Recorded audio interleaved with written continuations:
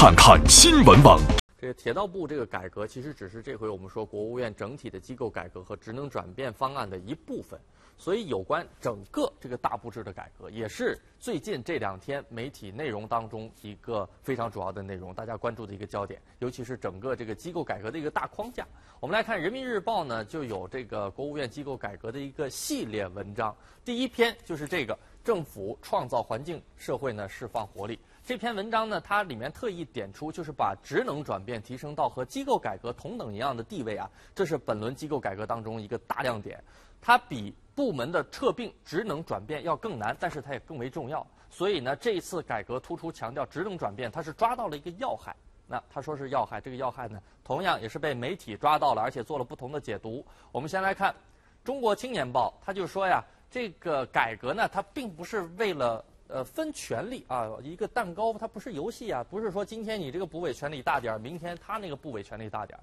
关键还是要看是向社会放了多少权力。另外，《成都商报》呢，他也说，大步制大步走向市场和社会，其实呢就是走向这个法治型政府和服务型政府，这是市场经济啊进一步发展和完善的需要。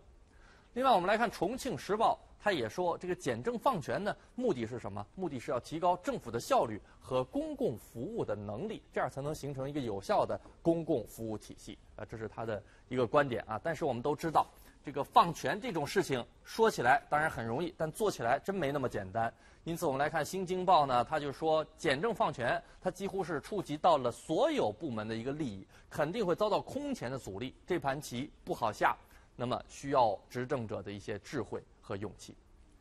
说到改革，当然从来都不是一件容易的事情，也不可能一蹴而就啊，所以它一定是一种渐进式的。而就在大家都觉得我们的政府在朝着大社会、小政府这样的目标靠近的时候呢，我们来看《环球时报》再次冷静地指出，中国的机构改革呢，呃，不管怎么改啊，中国政府都不可能最终变成一个呃市场环境下的小政府。为什么呢？因为中国现实的国情决定了中国政府的这种职责肯定都会比西方国家的政府要更大、要更重。